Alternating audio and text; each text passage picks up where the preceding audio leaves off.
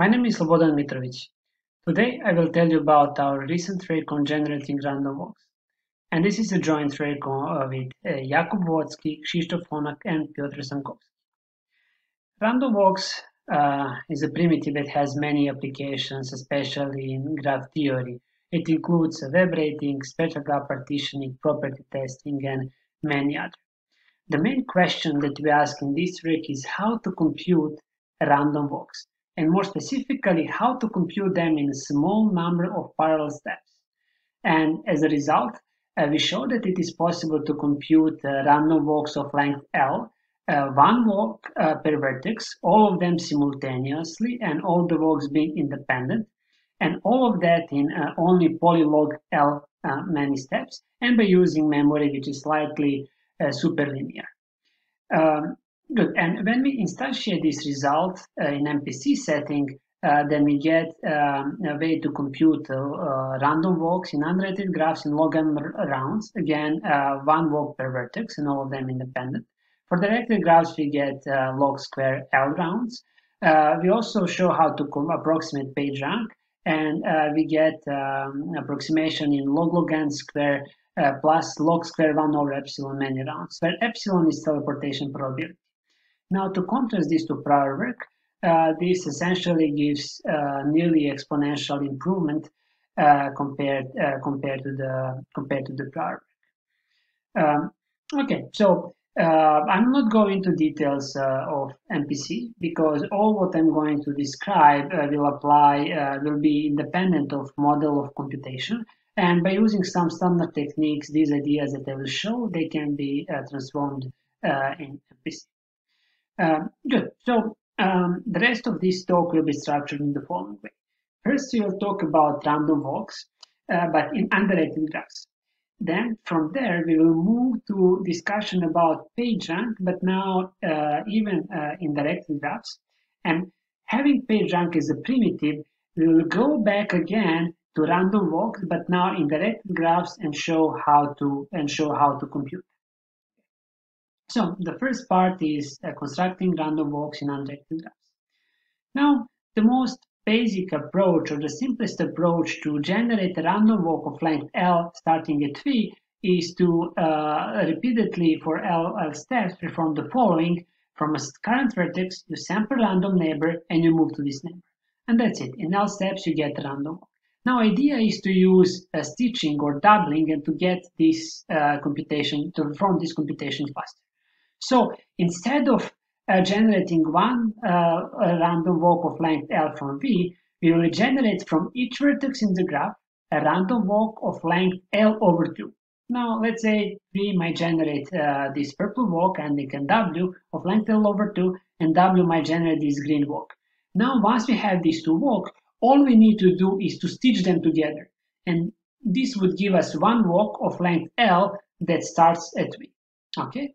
And this is great. Now we can repeat this idea recursively for length L over 2, L over 4, and so on, giving us uh, an algorithm that runs in log L many steps and generates, uh, generates this walk.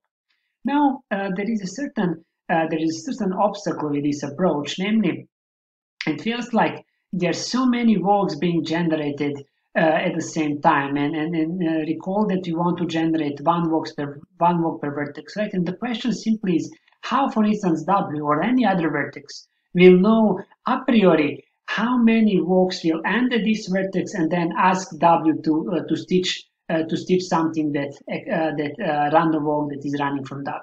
Right. And there is a relatively simple answer to this which is just follow station distribution and as a reminder, if you are given a walk matrix uh, W, then station distribution is probability distribution such that pi times W is equal to pi. And I'll be using pi to denote station distribution of the uh, of the of the of the walk matrix of of interest. Uh, okay, so it is uh, again the idea is simply follow station distribution. What do I mean by this is the following: each vertex, each vertex v will compute the number of walks which is proportional to pi of v. Okay, so each vertex will do this simultaneously. And now there is something very nice uh, that will happen out of this. In expectation, after uh, after t steps, for any t, we know that uh, because of properties of station distribution, that there will be pi of v many walks ending at v, right? So just by by the fact that we are following pi actually would allow us would allow us to in, in advance to know how many walks will be ending at each vertex. And now this resolves the issue that we saw on the previous slide. Okay, so just to summarize, uh, following pi and more importantly, being able to compute pi actually uh, is very beneficial.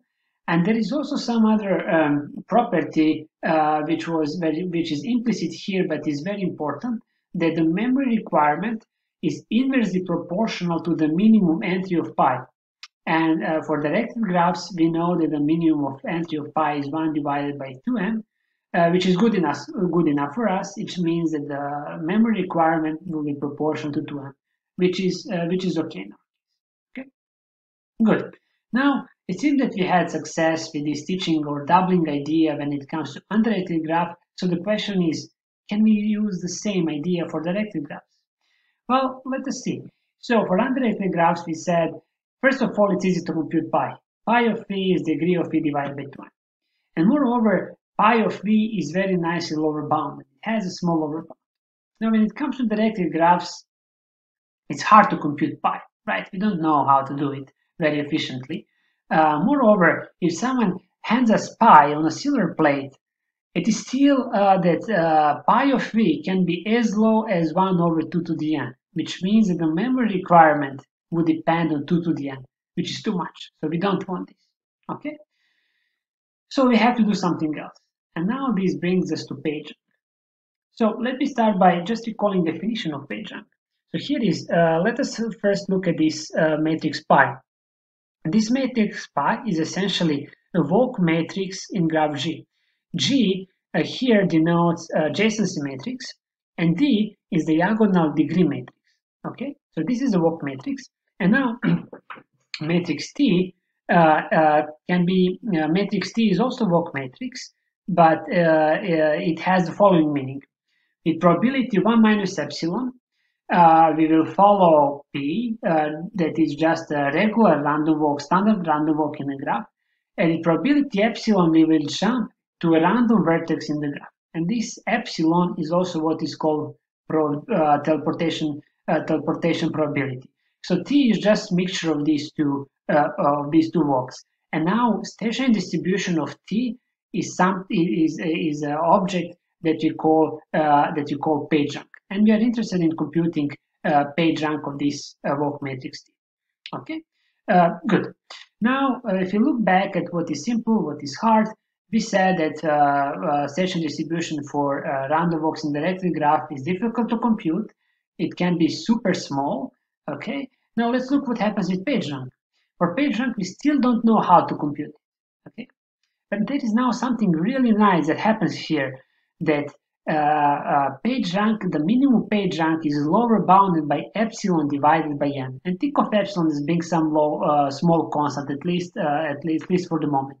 And this is actually pretty cool because uh, because this now, uh, assuming that you would know pi, this would enable us to use this stitching idea that you saw before. Okay, and this is really one of the key properties that we use in our approach. Okay, cool. Now, the question is how in general we could compute PageRank. And there is a result from 2002 that says that pretty much approximating PageRank boils down to computing n log n short random walks. And when I say short, I mean random walks of length log n over epsilon, um, and there again, if you think of epsilon being constant, so pretty much uh, walks of length log n. But this is very good news for undirected graphs because we just said a couple of slides ago that we know how to compute very efficiently uh, random walks for undirected graphs. So that means that just by using this result, we can approximate page rank in undirected graphs. But still the question is what to do with directed, uh, with directed page. And here is now one of very important ideas that we develop in this thread, which is just the idea of transitioning uh, from undirected to directed uh, to directed graph. And let me now explain it more. So first of all, input graph is G, but I will use G of U to denote undirected version of this graph G. So just just uh, just ignoring orientation of the edges. But G of D would essentially be still this input directed graph. Okay. So and we just said that computing PageRank for uh, of, of GU is, is simple, but for GD we still don't know. Now we will introduce, uh, introduce a new object, uh, a new graph which is called GJ. This graph GJ is a mixture of uh, GU and GD. It is 1 minus j divided by log log n of GU and j divided by log log n of GD. And uh, the way you should think about the random walk in graph GJ is as follows. For every edge uh, in, uh, in GJ, of a random walk in GJ, with probability 1 minus j divided by log log n, you would follow undirected version of G. And with the remaining probability, you would follow directed version of G. And in particular, uh, G0 uh, means that you are entirely following undirected version of G, and G log log n is directed version of G. It is the graph that we want to get at the end. Okay, so in particular, it means that we know how to compute PageRank for G0. Now we will use PageRank, uh, this, this, uh, the fact that we know how to compute PageRank in G0. Then we will sample random walks, PageRank random walks in G G0, and uh, we will uh, transform, we will use these walks from G0 to get random walks in G1. And in the next slide, I will show you how to transform walks from, G, uh, from, from GJ to GJ plus 1. Now, by using the theorem that we said before, uh, from 2002, together with random walks in G1, we, we can approximate PageRank in G1. Now we'll apply the same idea for G2. We will, from G1, we will uh, sample, uh, generate uh, walks in G2, and together with this theorem from 2000, uh, from 2002, we will generate page rank for G2 and so on. So we will just continue this process step by step, and then eventually we will be able to generate page rank walks in GD. Okay, but there are many questions that that uh, one has to answer here, and so let me start by telling you how actually to generate, uh, how actually to use GJ to generate uh, to generate uh, random walks in GJ plus one. The idea is uh, fairly simple. We will use rejection sampling namely uh, input uh, input to procedure would be a random walk in GJ, and output would be a walk in GJ plus one or fail. Okay, and this fail will come from rejection sampling. Now we will perform a certain rejection sampling on each edge of W in GJ uh, independently. Okay, and so here is rejection sampling. Uh, here specifics for this rejection sampling. Uh, so uh, E, uh, edge E, which is in W, is coming from the following probability distribution. Uh, it is coming from undirected version of the graph with probability 1 minus j divided by log log n, and the remaining probability is coming from GD, right? So this is just by definition of GJ. Now, we will perform the following rejection sampling. If edge E is sampled from direct version from the graph, we accept, okay? We just keep edge as it is. Now, if it's coming from undirected version of the graph, with probability 1 divided by j plus 1, we reject. Okay, we reject this edge and we reject the entire walk W, or otherwise we keep this edge. One can show that this rejection sampling uh, would actually uh, be sampling edges uh, with respect to definition of gj plus 1. It's really easy exercise to show that actually this sampling follows the right distribution. Okay? But here is this rejection probability, and the question is, how much this rejection actually affects us, right? What do I mean by this? I mean, an edge is rejected with probability 1 divided by j plus 1.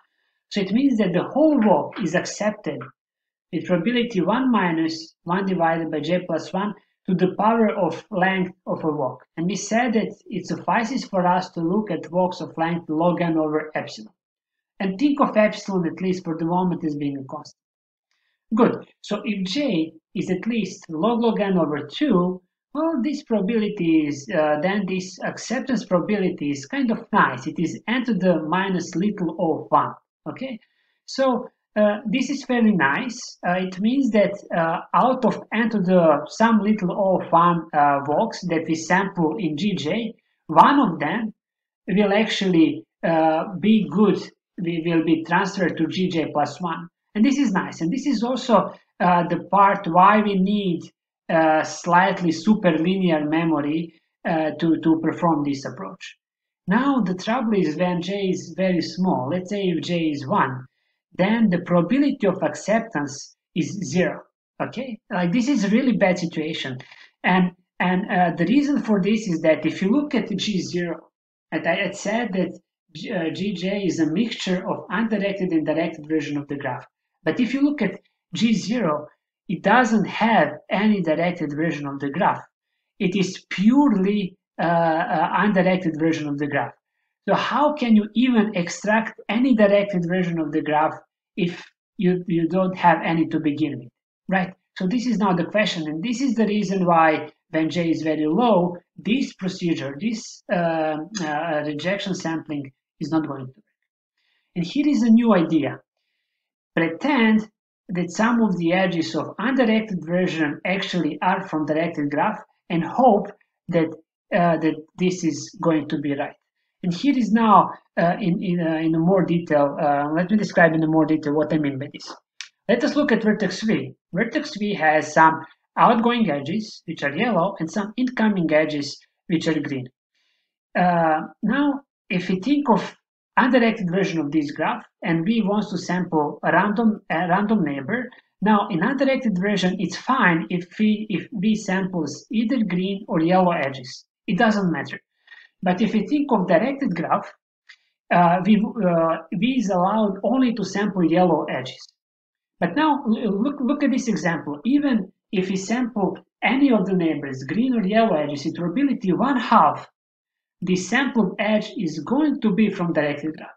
And this is pretty good for us. It means that, you know, uh, even if we try to follow undirected version with probability one half, this edge will come from directed graph right? And we can, in this way, we can inject some directed edges even if we are looking into undirected version of our graph, okay? So this example is very nice, but here is now then this example on the right, right where in degree of in V is n, but our degree is only one. So now if uh, we try to sample uh, any edge from V, very likely it is going to actually be incoming edge. It is going to be green edge. But we actually would like to sample yellow edge, right? And probability of sampling yellow edge here is 1 over n, which is, which is actually very bad. Uh, it's not something that you would like. It's very, again, uh, having this kind of example is hard to inject directedness by following undirected, undirected version of the graph, right? Uh, now, uh, here is at least something that you learn, that if out degree divided by total degree is relatively large, think of being some constant, then we're happy, like it's good. It means that there is some decent chance that taking undirected step, undirected edge will actually be a directed edge. So it's good. But if this ratio is small, then it's bad. And here is another idea that you use, right? Why not just transform the graph so that out degree divided by degree is always large? And the question is how to do this. Okay, so here is our example that we saw previously. And now instead of one vertex V, we will have actually log n vertices, which will progressively reduce incoming degree to V. Okay, so here is what I mean. Uh, we will start with V on the right side.